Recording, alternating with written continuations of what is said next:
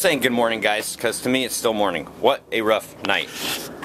Uh, Yes, you didn't even come to bed. I didn't. Last night's edit which at the end you guys might notice that I just kind of started letting things go. I was falling asleep editing. And ended up falling asleep on the couch in the office. Anyway good morning. Welcome to the vlog. We have been to the estate sale. We got the television. Is that not freaking badass or what? Oh, did you talk about it? Uh, yesterday I mentioned it yeah I haven't seen the vlog yet because we've been out. That's okay. I haven't seen the vlog either.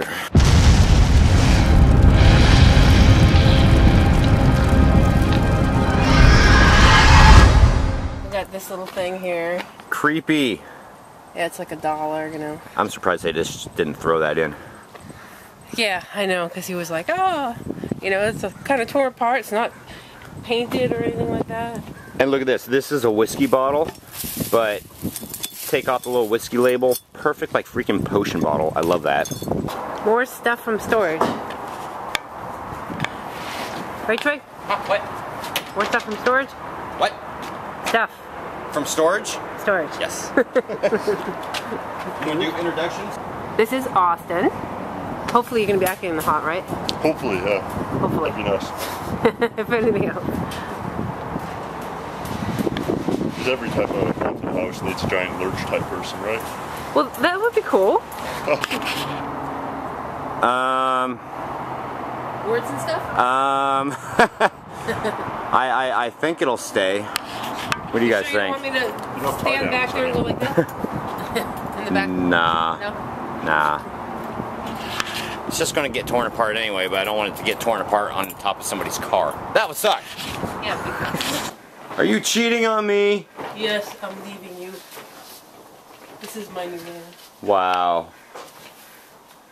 How wrong. Seems a little anorexic. Well, you know, I- if you're a girl, you like them bony.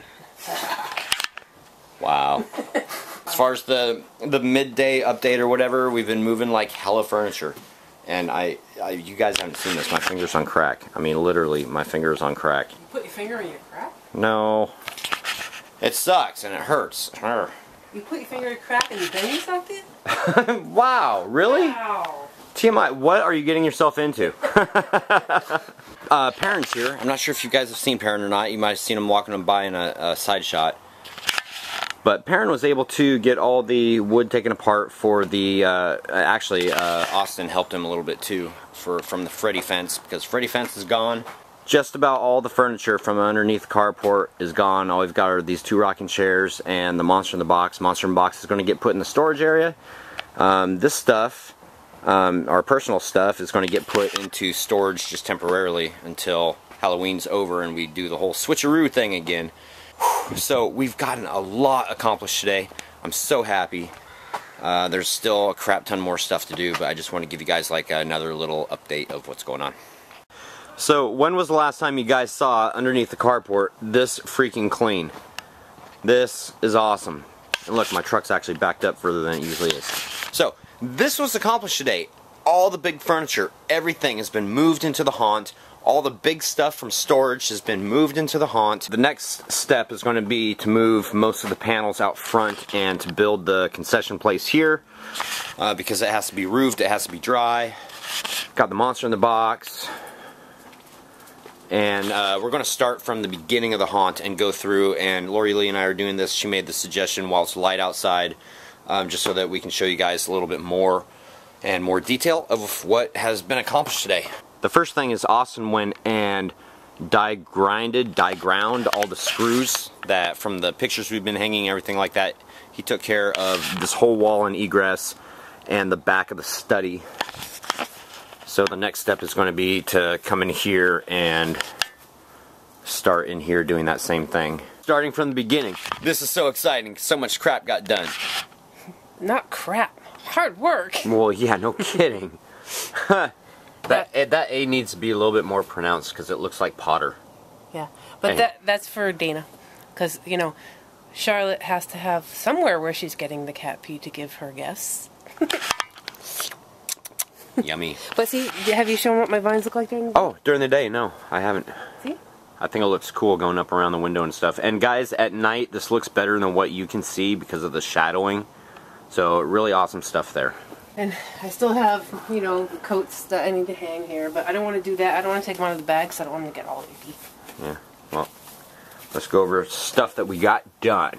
Yeah. So you guys seen this on both walls? Yep. BTDT. Been there, done that. Just hung a couple more pictures. I'm still going to do more in this hallway. Um, but here, I got a lot done in the study today. See? Yep, got that. I put the little spider there. I thought it was cute.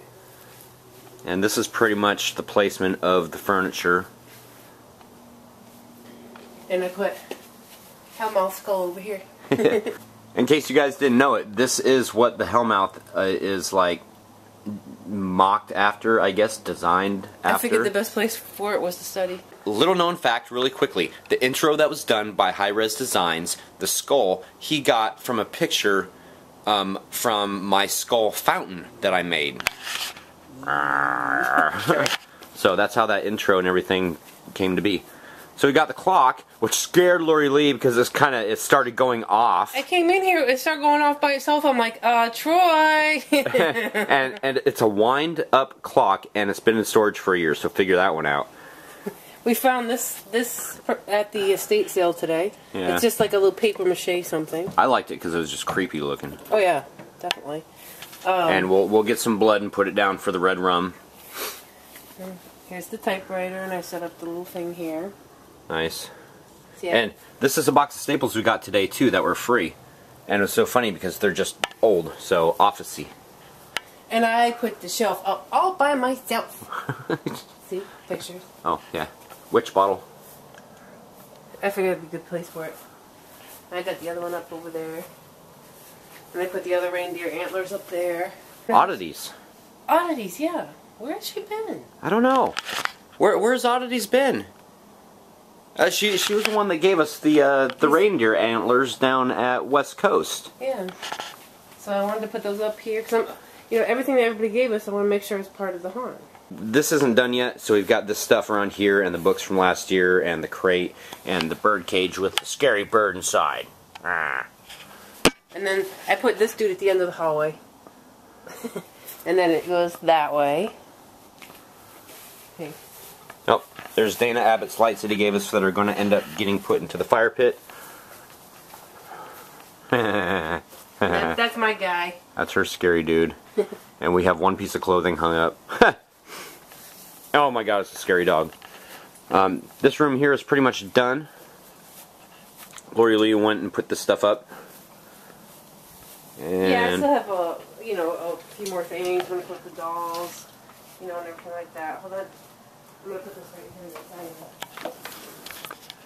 Were you going to paint the back of this closet black? I think so. Okay. So these are the shutter doors from last year, and I just kept them on the frame. I was going to take them off, and Lori Lee was like, "Why not? Or leave it on and give it definition." So I'm like, Yeah. "Oh, okay." Yeah, see how it gives a definition? You know, it's just like, here's our closet. Okay. We got these old lady clothes at the estate sale. okay.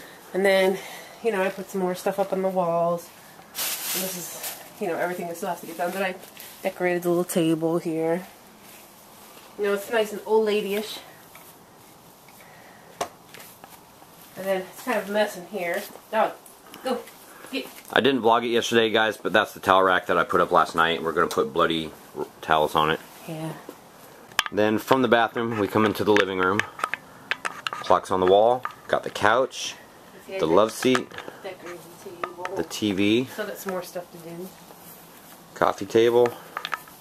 Piano is going to be in this corner with the lights that Dana Abbott gave us too. So freaking awesome. Mm-hmm. You know, I love how everybody's a part of this haunt. That is so cool. It's like you walk in each room and there's something that everybody did. Dining room. So you guys have seen the table, and of course the light fixture up above.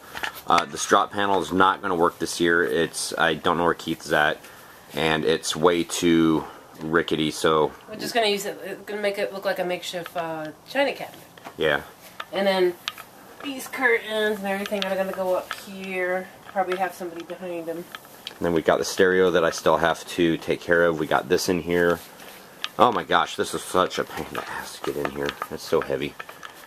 Just, Chair, doily. yeah, I put the little things up on the wall. It's more stuff. Um, still have to uh, finish the closet there.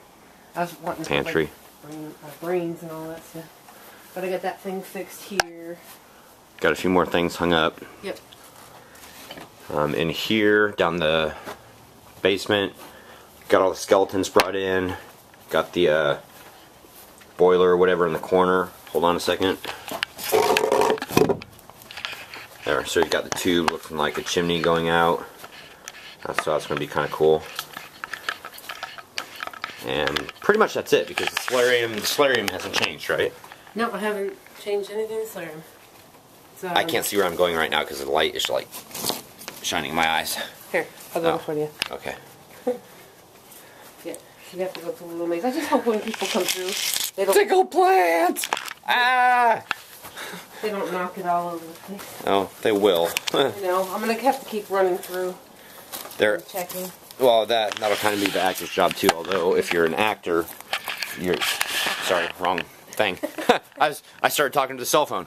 If you're an actor in a, in a, in the ghillie suit, then you're not going to be able to go through there and like make it through the plants before somebody else gets through. So there is going to have to be somebody in charge of every once in a while going through and taking a look at things, make sure everything's right. Anyway, guys, I'm not sure how much more vlog because that right there was the walkthrough of the whole back haunt, and it's taken just about eight minutes. So you figure with people going through, I'm figuring about a 10 minute, 10 to 15 minute haunt here in the back. Well, that, I mean, that's not really a good timing either, because we we were stopping and we were showing um, details. So Yeah, but people That's- are apprehensive. They don't go through through things fast unless they just run, but they don't know where they're going. So they need to stop and look. yeah. So anyway, that's the haunt. That's what we did today. Oh, oh. Other things that were done today, not to downplay anything. Austin went and put uh, plastic for the room partition up above, and Perrin went and patched the roof also in places where the stupid cat has has clawed through. So there we go. We're gonna stop talking. Yes. And Thank you very much to Austin and Perrin for helping us all that all the help that they gave us today. We couldn't have done it without you. there is no small task. Every small task adds to the big picture. So Yeah. much appreciated. All right, guys. So I told you I would do this yesterday. Um, a huge shout out to Richard S. from Winfield, Kansas. Thank you so much. He sent this freaking awesome uh, pneumatic cylinder for the prop car, and I figured a big knife for a big cylinder. Should I be scared? Yes. Be afraid. Be very afraid. Okay, so the story on this is that, and I believe that I'm correct, at his work. Oh, cool. Fittings also. Well, that scared me. Mika pushed the box and it pushed up against my leg and it moved, and I'm like, ah. um, at his work, they had a machine that they were getting rid of, and so he robbed it of the cylinder. This is a, uh double acting, or excuse me, yes, a double acting cylinder. Makeup. Bed. So, anyway, very awesome. Thank you very much. So, we are both worn out, and I'm worn out, so I know that the person carrying my spawn is also, like, completely drained. Completely. But she kicked ass. Everybody did today. It was Plus, so much like- fun. Plus, I made um, flyers to hand out on campus or put on bulletin boards on campus, and I also did my homework um, and to clean up a little bit around the house too. You gonna jump into cop? We're just going to jump into cock. That's what we're doing. Magic Unlimited. In the basement, hang a bunch of fishing line down from the ceiling so it brushes against people's face. I think you should do it in the basement rather than the solarium. In the solarium, there's already stuff hanging down, so I agree with you on that. Um, I don't like using fishing line because if it gets caught on somebody and somebody goes to bat at it, um, it could like cut in between their fingers. Um, so what we do is, or what we're going to do this year is we're going to use the webcaster gun, which will break out here in the next two weeks or so. Yeah, probably about two weeks. And uh, when you do the webcasting gun, you just put webs all around, and they feel like real spider webs. So it's something that you have to redo like every night, but it'll still have a really awesome effect. Yes. Yes, and everybody all of a sudden becomes a karate expert. Goth DJ. So when you take out older stuff for the haunt from storage, do you get a sort of giddy feeling like seeing old friends? I really do. What are you talking about? He goes to storage just to visit that stuff. How tall is Austin? Six nine. Okay, because we never said that today at all. Austin is six feet nine inches, which is awesome. A perfect person for the beginning of the haunt, um, the facade. And he said it himself. I'm I wasn't there. I didn't hear him when you gave introductions. He called himself Lurch. He said everybody needs a Lurch. So I'm like, that's freaking awesome. Ramthal. Did you know the actor, aka puppeteer that did the count and the voice form, passed away a couple weeks ago? I did not know that. Oh. Yeah. Well, we all live, we all die. and furnace does work, but you can also refer to it as a boiler. I think that's what I was going Yeah. for. I couldn't remember. Yeah, that's what I was. That's what I was thinking of. Sorry. As to looking for things in the haunt, and he's referring to what I said yesterday about if you guys have sent us something or given us a suggestion, actually seeing that come to life in the haunt. You're right. Every time you do a walkthrough of the haunt this year, I keep looking over condom hall and the bathroom. LOL. No comment from the peanut gallery, please. And well, it's not a condom hall anymore. Now it's a Now it's completely Picture. decorated from one end to the other. yes, and looking pretty dang good. Thank you. And thanks to you too, Ram. A Columbia Manor haunted house. Sorry. Wow, what a nice little vacation-ish time. All those extra hours to work on the haunt. And no rest. You know, if I could do this all the time, number one, I'd be getting more rest. Because I'd be doing it all the time. Yeah, And, maybe one. Maybe you would actually come to bed at night. oh, That would be lonely. I'd be happier too because I'd be like happy with my job. Anyway, Awoken nightmare. Love how the number of trick or treaters increases every year.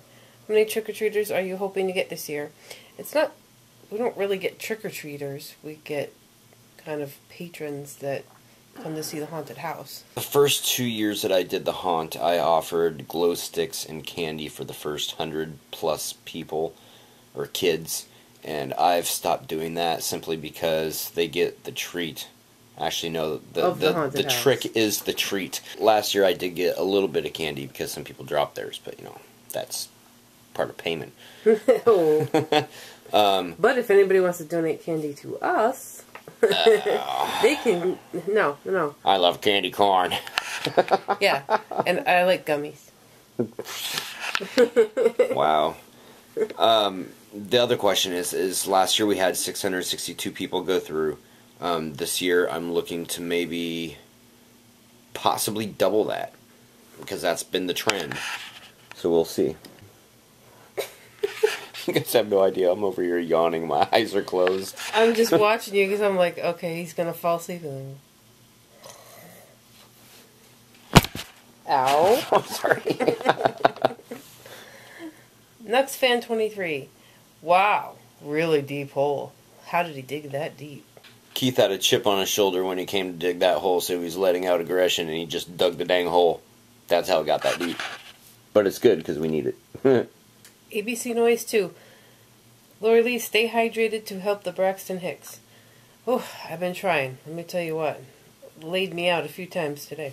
Remember, Milburn Manor operated on an iPod and Xmas Light remotes for quite a while. Phoenix wants to be a haunter. He's trying to beat his way into this crazy life. but not right now. you have to wait until finals are over. You hear me? Don't make me come in there. you know, whatever works, you know, you use, whether it's a pro haunt or not. Um, you know, using fancier lighting and everything, that's just to get like a better effect and have it be easier usually. But sometimes in making things easier, it makes it more complicated. Now she's the one sleeping. Wake up. Fantoro. I think in a few years you might have a whole cement backyard. By the way, I've had the same thing happen to me. Troy, A whole the- cement backyard? I know a whole cement backyard. Is that what happened to me? Troy, with the electrical outlet at the oh the electrical outlet, I've had the mm-hmm. same thing happen to me with the electrical outlet at Screamworks in one of the houses. Silly fake things. Mm-hmm. I love it because it's like faking them out and stuff. I love you guys, but I'm tired. I'm so tired. Eileen Norris, Troy. Norm- normally, people put their skeletons away, not bring them out in the open. Either that, or they were jealous. Laugh out loud. I actually think that they were um, that they understood after a while that hopefully they drew a conclusion that they weren't real. Wouldn't that be creepy? Some dude keeping like skeletons, I mean real skeletons, in his storage. Uh, How do you guys know they're not real? Huh? What? Uh, now I'm even more scared. Queen Ruby, maybe Phoenix is planning to be born on Halloween. No. Oh, that would be bad. But I want to say thank you to Austin and Perrin for all the outstanding help that we got today. Couldn't have done it without you. Um, can't wait to get the rest of the place together. It's going awesome, and I, I think we're moving along pretty well. Yes. So thank you guys. Out of here. Love you guys. Happy hunting. See you tomorrow. Wow, you're so thrilled. I'm freaking tired. Leave me alone. Happy hunting. You want more? Come back for seconds tomorrow.